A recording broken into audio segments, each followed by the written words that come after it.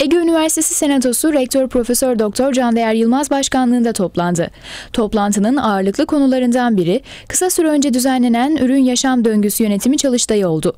Çalıştayı düzenleyen isimlerden biri olan Ege Meslek Yüksekokulu Müdürü Profesör Doktor Semih Güneş, etkinliğin sonuçları hakkında bilgi verdi. the design from the customer side. TÜBİTAK tarafından desteklenen çalıştayın iki gün sürdüğünü ifade eden Profesör Doktor Semih Güneş, ürün yaşam döngüsü olgusu ve uygulamaların tartışıldığını ve bir sonuç bildirgesinin ortaya çıktığını söyledi. Mühendislik Fakültesi Dekanı Profesör Doktor Süheyda Atalay ise ürün yaşam döngüsü çalışmalarının 2012 yılından bu yana Ege Üniversitesi'nde devam ettiğini hatırlatarak Mühendislik Fakültesi olarak çalıştayla ürün yaşam döngüsü kavramına daha da hakim olduklarını söyledi.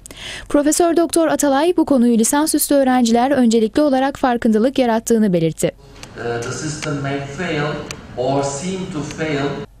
Toplantıda kısa süre önce Afrika'daki Kilimanjaro Dağı'na tırmanarak 60. yıl bayrağını dalgalandıran Tıp Fakültesi Ortopedi ve Travmoloji Anabilim Dalı Başkanı Profesör Doktor Semih Aydoğdu da yaşadıklarını anlattığı bir sunum yaptı. e, filmlerde gördüğümüz